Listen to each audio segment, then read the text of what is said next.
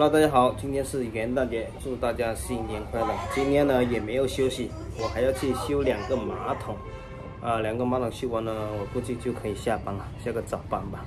我们先来看一下这家马桶的故障，刷圈水很小，水太小。你其他地方水够不够大？看它水龙头的水呢，也不会太小，不过它这个水龙头是装的起泡器的。啊，看不出来的。啊，我们先拆脚滑吧。嗯，我再想一下。脚滑先不拆，先看一下它的管有没有折。我应该先从最简单的检查起，先看一下它这条管有没有折，这条大管。嗯，手机照进去看呢，它现在是没有折的，那就不是它管折的问题了。那这些就是要检查一下它这个脚滑。很多时候脚滑堵也是会引起它这个水小的，但是它这个拆出来呢，非常的干净哦，比我脸都还干净，一点沙子都没有，那证明它这个脚滑问题也不大。我决定还是拿个水压表给大家测一下，看一下它的水压状况如何。但是从水压上看呢，它是可以的，有三公斤。但是测水压表，我跟你说，很多时候是测不准的。我们要测水流量才比较准。这个没有打开，没有打开是吧？没有完全打开，你看一下。在这里你再看一下。好，我们现在给它试一下，表前阀那里已经开到最大了。你看现在刷圈很明显是大了很多，啊，冲水也行了。那证明就是刚刚那个表前阀那里水没有开到最大，导致它这个水压太小了，带不动这个马桶。刚刚马桶已经是正常可以冲水了，我要把这个拆出来测一下。你看，跟刚刚没有打开压力是一模一样的。所以说，用这个压力表来测，其实它是不准的。我们真的要测的话，用那个流量带来测它的水流量。你看，它这个马桶里面的水比较脏，因为客户家还没有入住的，今天刚刚过来，所以有点脏，它是很正常的。啊，把这一次给它冲完了，等下出来的水。啊，一到后面它都是非常干净的了。哎呀，真的是这个表前阀的问题啊！其实我之前修那个马桶，我就有说过这个东西是什么东西，我确实不知道这个叫什么东西。后来是很多网友在评论区啊说这个是表前阀，也是可以控制这个水流的。现在到隔壁一套房过去换一个马桶的阻尼，啊，也是同一个楼盘了。这次我就变聪明了，我啥也不去弄。就等他来开那个水表，等他开了，我再来一样一样的测试，结果他就对了。你看这家马桶呢是这个座圈的问题，你拿上来一放，它就掉下去了，它不会说慢慢慢慢的下去哦。你看，一下子就掉下去了。这种的话就是那个阻尼器坏了，我们换一个阻尼器就行了。先把这几个管给它拆掉，因为你要换这个阻尼器，你就必须要把它背后所有的螺丝拆掉。啊，整个机头给它拆掉，它才能换得到它那个阻尼。虽然说这个东西小小的，但是你不把它全部拆掉，你根本就换不到。好，我们现在已经拆出来了，看一下啊。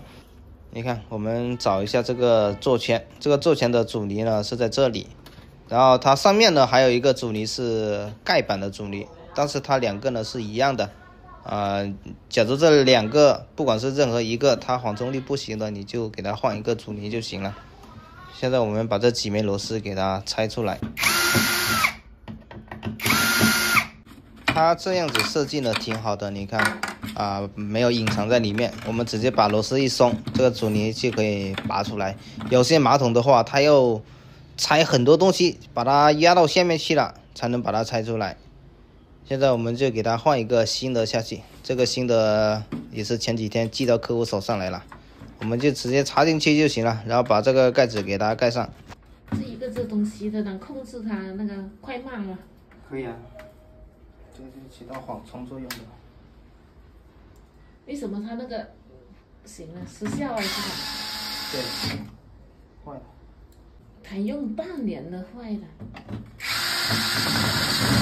东西也很难说啊，有时候你用一辈子它都不会坏，但是它有个概率在里面的，有些它要坏的话，它一下就坏。对啊，其实肯定每个产品它都是有一些。其实没到半年呢，可能三四个月啊，它就已经开始有老是这样子掉下来哦。这不是说那个发热问题，我也不管它，嗯，就是注意一下它，但是它，老是你稍微不注意，乒乓打的也很响嘛，是现在一起换的，才几个月了，半半年不到。有些这很难说的，有些东西你们还没有进来入住，那我们有时候检查到有坏了，都已经换上去了，对对，很正常的。你看一个楼盘这么大，几千套，它肯定是有一些有有一些故障的。